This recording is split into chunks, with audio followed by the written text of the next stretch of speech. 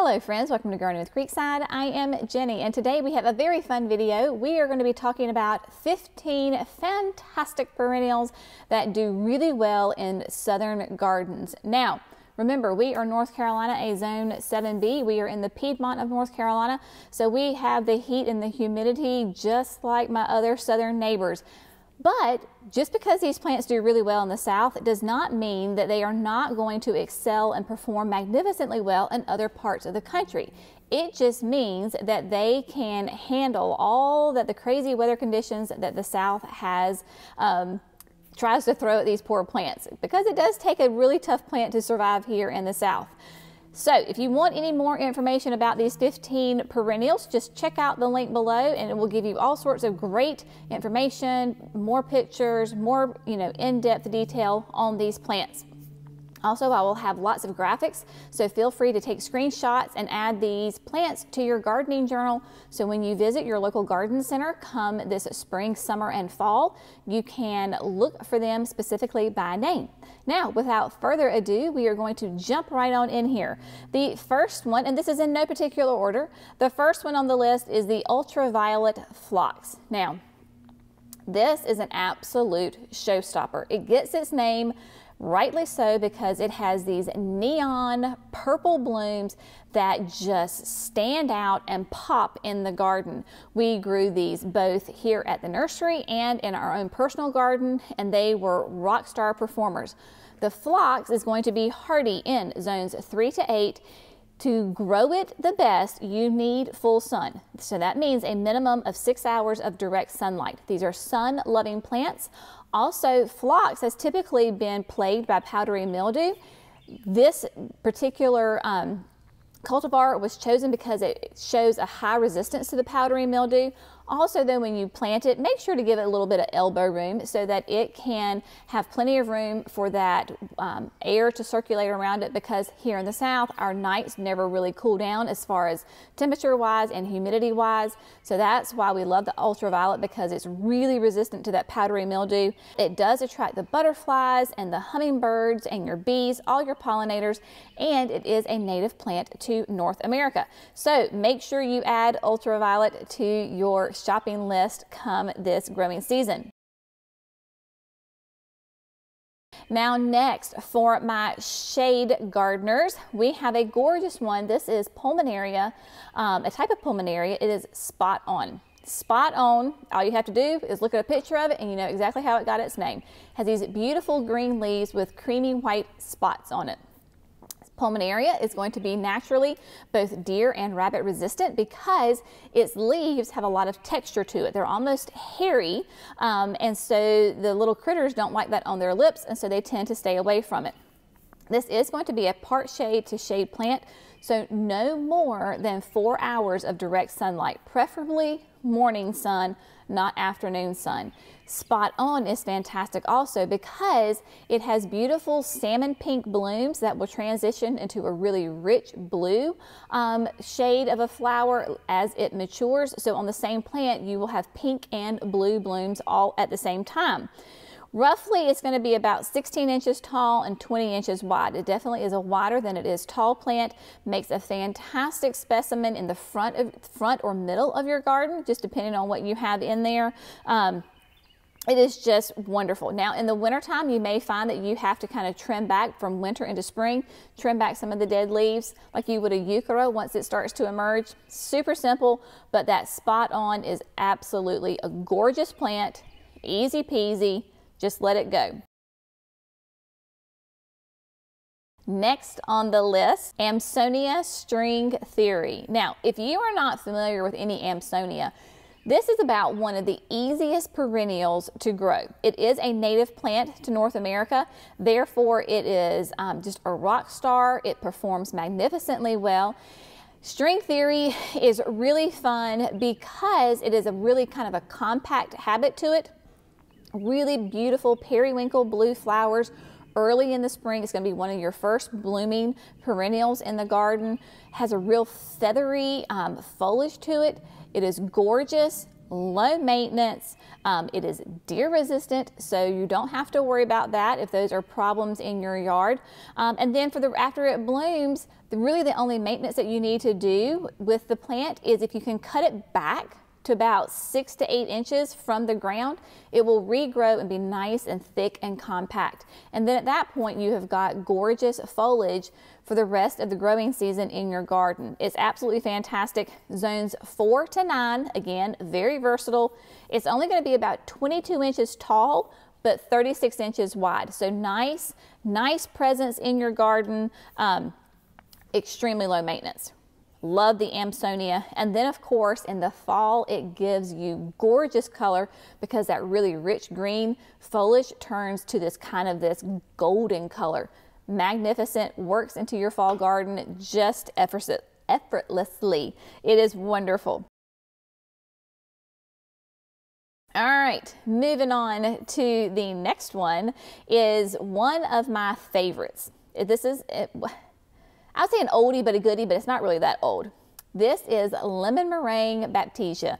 Now, I have had lemon meringue in our personal garden for four or five years now. And again, this is one of those really low maintenance, no fuss kind of plants, but it gives you gorgeous color early in the spring. Now, Baptisia will come in a thousand different colors. Lemon meringue obviously gets its name um, from the color that it is because it is this gorgeous yellow, um, kind of a soft, buttery lemon color. It is gorgeous. It is hardy in zones four to nine very, very versatile.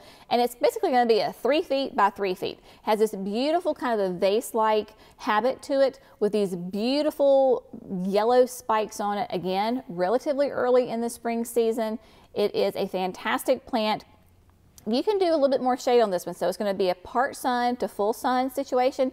So you need a minimum, I would say, of like five hours of sun on up to the whole day. Ours gets sun up to sundown and handles it like a champ. Not a problem. It attracts butterflies. It is bee friendly. Again, it is deer resistant. Once you get your lemon meringue established, it is pretty drought tolerant because it does have a really long, deep taproot.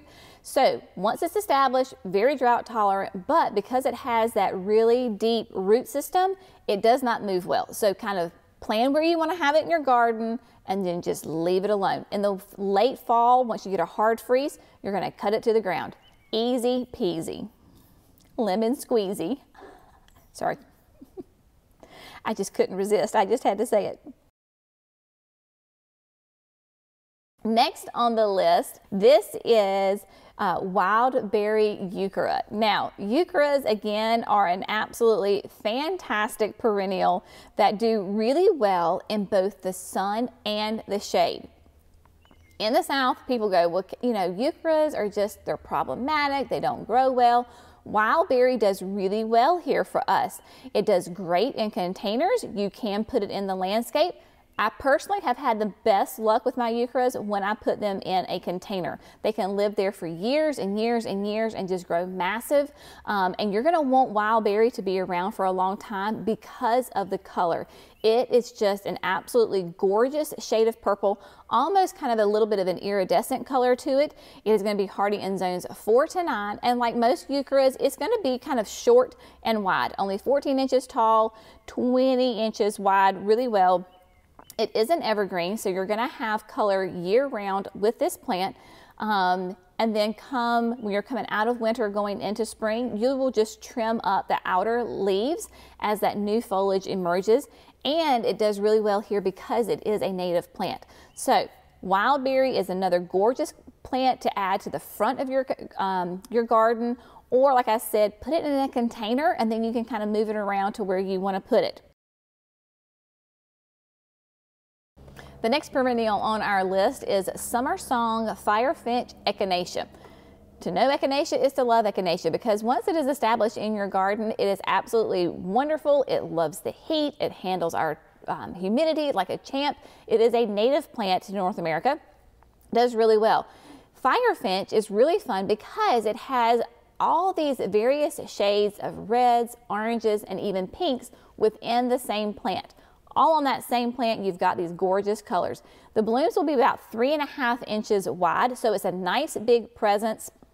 Um, these do great in containers. You can put them, of course, on the border of one of your gardens because they're only going to be about 16 inches tall and 18 inches wide. So it's not going to be a huge um, domineering presence in your garden. So definitely in the front or the middle of your border, depending on you know other plants that you have in there.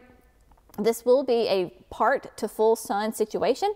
Again, minimum of five hours. And then once you have it established, it really doesn't require a whole lot of water. It's pretty self-sufficient. It is deer resistant.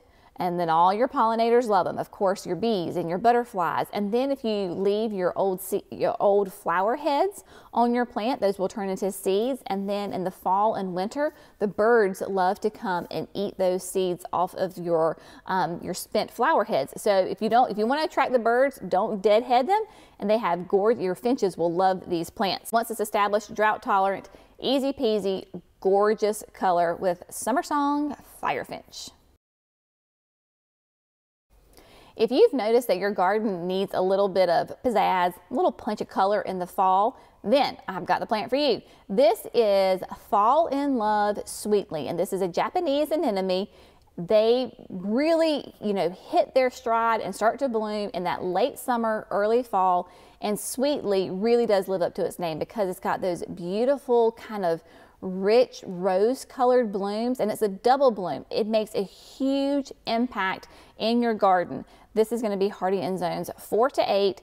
Again, part sun to full sun, about 26 inches tall with a 30 inch spread on it. That 26 inches will include your blooms. So before, you know, in the spring and then early summer, midsummer, you're just to have this beautiful mound of gorgeous foliage and then your blooms will start to appear, like I said, in late summer, early fall. Um, it is going to attract your butterflies.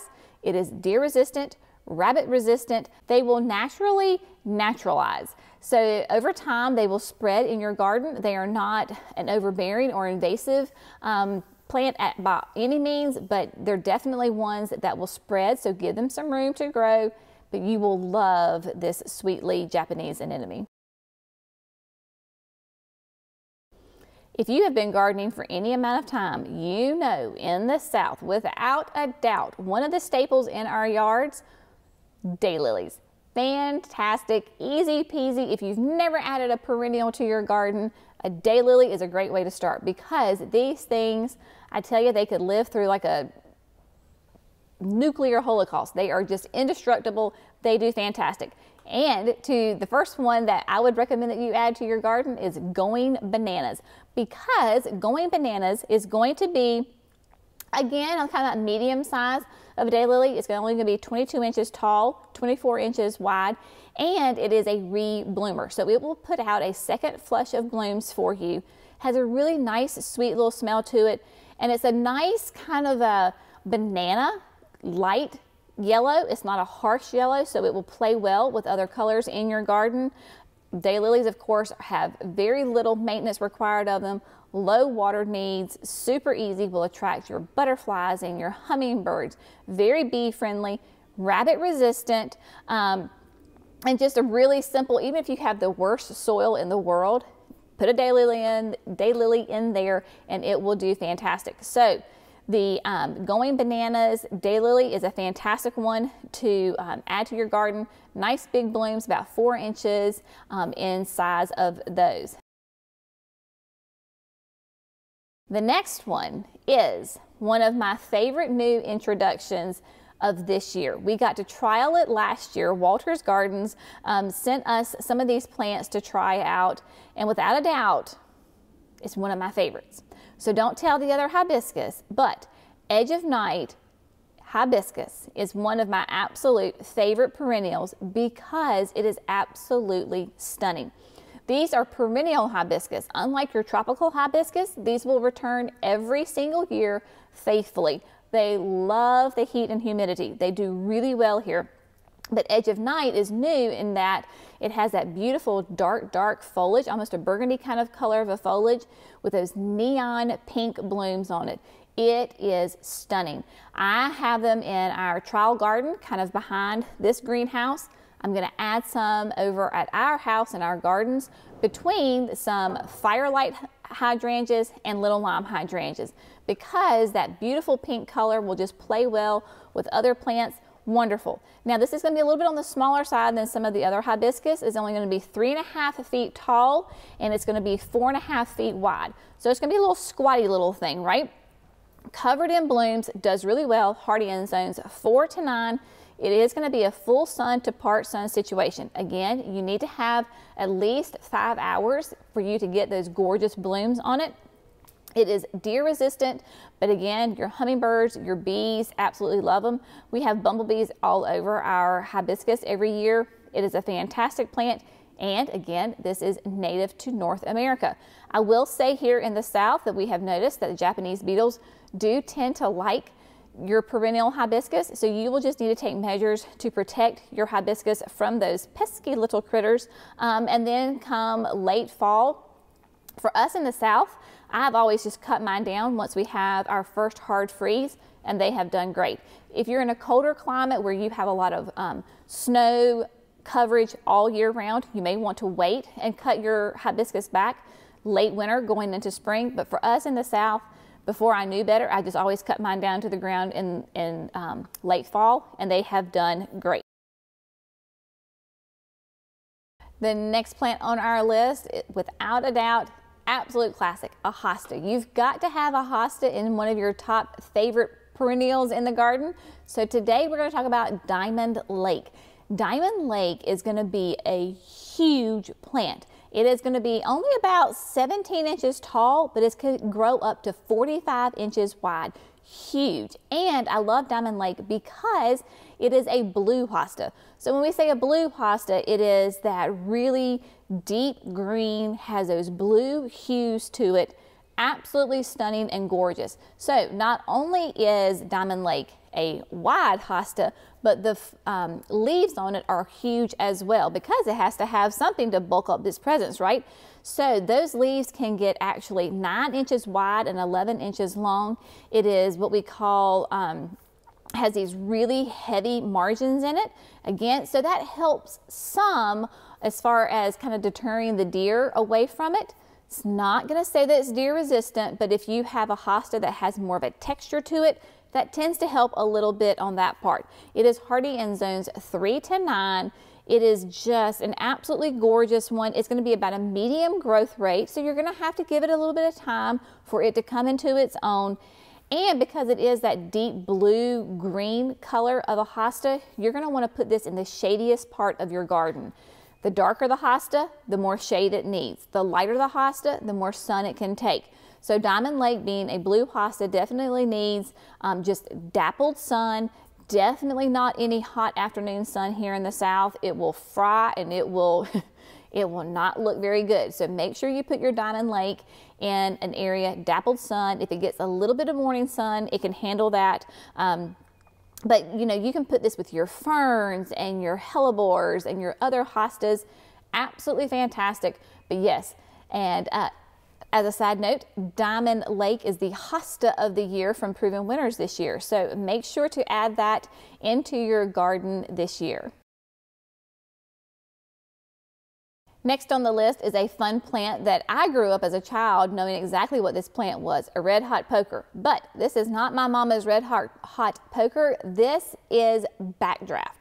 Backdraft is an absolutely gorgeous, deep orange, kind of an ombre color to it. So it will, the orange goes up the bloom stalk and the older um, flower petals on it will kind of turn a little bit of a yellow color to it. So it has this ombre effect to it absolutely gorgeous. It is only going to be about three feet tall, two and a half feet wide. Again, I remember my mama's red hot pokers and they were bigger than I was. This is going to be a nice petite um, that will stay in your garden really well. For us in the South, it will basically be kind of a um, an evergreen. I have, you know, here we are in the wintertime and mine in the garden is still very green. So what I will do and come probably March for us is once I start to see maybe a little bit of new growth just about to begin to happen. I will trim back some of those older leaves on it to allow all the new growth to come out. But it is a fantastic, um, it just kind of blooms all season long. It gives a really fun different texture to your garden with those spikes on it. Fantastic, is a medium growth rate but it is deer resistant and rabbit resistant. The butterflies, the hummingbirds love it. It is very bee friendly. Um, but just a really nice long bloomer with that gorgeous color to it. Fantastic. Love it. It's one of those classics, but it's been updated and it's a gorgeous addition to your garden. Next is a really fun one. I love this. This is Banana Cream 2 Shasta Daisy.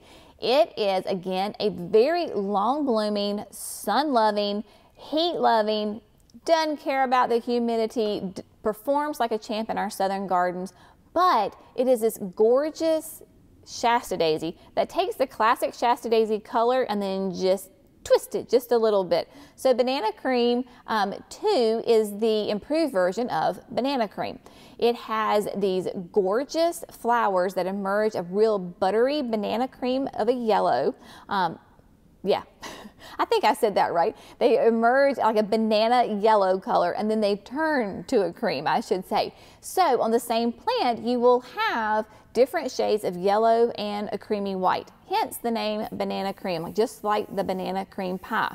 These are going to be hardy in zones 5 to 9, 24 inches tall, 22 inches wide. Now, I will share with you um, from my learning uh, growing pains is that these do not like to have wet feet. Yes, they need some water, but they do not like to sit in consistently moist, damp soil. They'll rot, they'll die on you in a heartbeat. I learned the hard way on a couple of these plants. So they like to be moist, but in well draining soil. So if you have heavy clay soil like we do, make sure either you plant it on a slope or that you amend your soil so that with some like soil conditioner so that it drains really, really well. Do not put it in an area that stays soggy wet because um, they will not respond really well at all. Um, but just a gorgeous plant, huge presence. The plant itself for us in the south is also like a semi-evergreen. I don't have a lot of top foliage, but I can clearly see where my plant is. So even in the winter, I do have a little bit of a presence of the plant. And I will tell you that even this past November, this little guy was still blooming its head off. So there you go. Banana cream too is a great plant. In fact, it makes such a great um, cut flowers. So bring a little bit of the sunshine indoors with banana cream too. The next one on the list, again, is an absolute classic plant. We all know Monarda, bee balm, right? But in the past, Monarda, um, you know, it is a native plant to North America, but those older varieties that maybe you grew up with, they would be really tall, really gangly. They got powdery mildew every single summer, um, and it just became a nuisance. But you love it because it attracts those hummingbirds to your garden. Well, here we have Leading Lady Raspberry. You will know that it gets its name from that color. It is an absolutely gorgeous raspberry color and it's nice and petite. It only gets 14 inches tall but 28 inches wide. We here at, at Creekside have been a little leery about some Monarda, just being honest with you. And Walters sent us some samples this past summer and without a doubt, this raspberry outperformed any other Monarda that we um, have ever tried before. I literally did nothing to it all season long. I put it in the ground about March and left it alone and it just took off. The soil was absolutely horrid clay soil that I put it in and it just performed its head off, did fantastic. So this is one that we are excited about and excited to offer our customers. Obviously it is native, it attracts the butterflies and the hummingbirds. It is deer resistant because it has that um, that kind of that minty scent to it, so they tend to stay away from it. But just its nice petite size works really well, especially in small garden areas. And if you can do it in a mass planting, oh man, talk about a showstopper and an eye catcher. Leading Lady Raspberry is definitely one to choose from. No list of must-have perennials would be complete without a perennial grass. I am a huge fan of perennial grasses because they add such a different texture and contrast and movement to your garden. So today we are focusing on Cheyenne Sky. This is a type of panicum grass, does really well here in the South gorgeous color. It's going to be about three feet tall and only one and a half feet wide. So nice and kind of narrow and skinny, but brings that great dimension to your garden. When we get some breezes, it moves. It's just gorgeous. It is hardy in zones four to nine. It is going to be full sun, so you need to have, I would say, at least a minimum of six hours all the way up, you know, to sun up to sundown on this. It is a native plant, which is always a great addition to add to your garden. And for my folks that live on the coast, this is a salt tolerant plant. So if you live along um, the ocean, the coastline here in the south, Maybe sometimes you struggle finding salt tolerant plants. Cheyenne Sky is salt tolerant, um, so you can absolutely add that to your gardens. It is gorgeous in a mass planting. So go for it. And then in the fall, it will take on these kind of reddish, purplish hues to it. Really beautiful, um, just a fantastic plant that will give you not only gorgeous color and movement in the spring and summer, but then in the late summer, early fall, you have this beautiful fall interest with it as well. And now rounding out our top 15 plants that do really well here in the South, it is Midnight Masquerade Penstemon. This is a fantastic perennial that loves the sun, super easy to take care of, and that will give you absolutely gorgeous, not only foliage color, but beautiful blooms as well. This will get to be a nice good size in your garden. It gets 40 inches tall, 32 inches wide, and it is hardy in zones 3 to 8. Now, this is definitely, again, going to be one for the full sun because if you put it in a little bit of a shadier condition, you're not going to have that gorgeous, um, deep, rich purple um, foliage color that you would get if it were in the full sun. Now, because of the beautiful um, purple flowers on their spikes, those are just absolute magnets for both the hummingbirds and the bees um, it is an early summer bloomer, super easy to take care of. It is native, another native plant here to North America, and it does really, really well. It has low water needs. You really don't have to worry about it too much. You can just kind of put it in your garden and let it go. And if I don't know if you're like me, but that is just like the perfect kind of plant that you can kind of plant it and forget it and just enjoy its beauty. But it is really um, just a fantastic plant. It is um, just has a really full kind of presence to it where other penstemons are not quite as vigorous and full and thick. Midnight Masquerade is an absolutely fantastic perennial to add to your garden. I hope that you have found this interesting. I hope that you have found at least one perennial that has kind of piqued your interest and that you are ready to add to your garden this season. Make sure that you take those notes in your garden journal so that way when you get to your local garden center, you can ask for these plants specifically by name. But as always, thanks so much for gardening with Creekside. Y'all have a great day and we'll see you in the next video. Bye friends.